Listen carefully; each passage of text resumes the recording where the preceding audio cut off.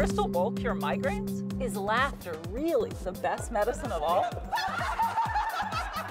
I'm Portland Helmich. Join me as I travel the globe exploring some of the most bizarre, radical healing practices you've ever seen. Do you feel like ghost energy sometimes? Are Oh, you able to pick yeah. that up? Oh yeah? This is extreme healing.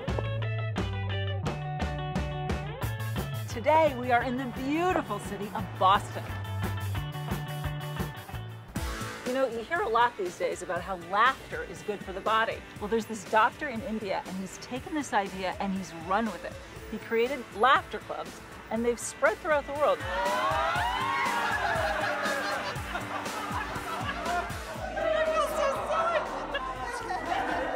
But what kinds of healing benefits can you really get from something like this? I think it's the endorphins, the act of laughing.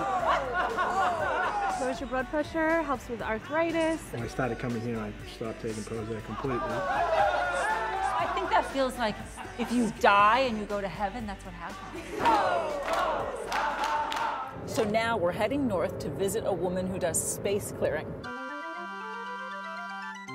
She goes into people's homes with a pendulum and a dowsing rod, and she clears energetic disturbances away. So it's pointing you? It is pointing me, and I can feel it as I as I enter into the spot. I prick it and I collapse it. You don't have to pray, you don't have to hum, Nope, you don't have to I chant. don't. You, you're just standing You know what talking. it is? It's basically naming it, feeling it, and being compassionate. Interesting. I actually just felt a tingle. I Did really like- you? yeah, I think when you said husband, the husband, I just felt this sort of like hmm. I never know what's going to happen when I arrive. It's just such a mystery, and it's so much fun. Network chiropractic is a technique that involves light touch along the spine to stimulate a relaxation response. Mm. Is it like an orgasm? It's a static, it's opening. I want some of that. Can I try? I'm sliding right into the spinal gateway, which is the place that feels great, and you're moving into it. Oh my gosh. All of this tension. Yeah. I like it. So, how did I get into this stuff?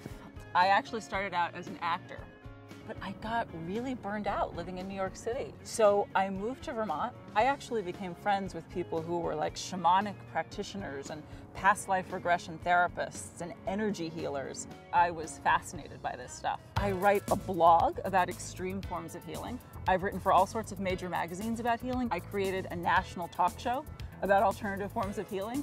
Welcome to the show. I'm totally into this stuff. I have learned that there are countless ways to heal the body and the mind. Some of these ways might be wacky, but others might really get you thinking. Come on, let's go.